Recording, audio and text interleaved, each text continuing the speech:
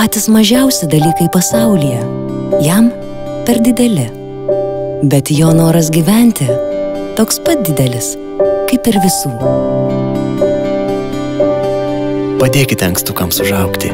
Ieškokite šiuo ženklu pažymėtų prekių Maxima parduotuvėse visoje Lietuvoje ir dalį sumokėtos sumos skirsite ankstukų paramos fondui.